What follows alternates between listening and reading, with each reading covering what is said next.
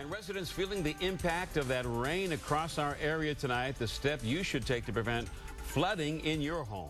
With all the recent rain and more expected tomorrow, your basement could take a severe hit if you're not prepared. Today, our crews went along with the Ohio Basement Authority as they checked out a local basement. The company tells us cracks in the wall may seem like a normal occurrence in any basement, but you know what? Any fractures could eventually lead to heavy water damage. In extreme cases, the entire structure could erode and collapse. So, what is the key in avoiding a disaster? Experts say a functional sump pump Debris, you definitely don't want to have any debris. You know, don't want to wash your basement down into your sump pit. You know, once you start to build that debris, that sediment up in the base of that pit, it can really foul up the pump.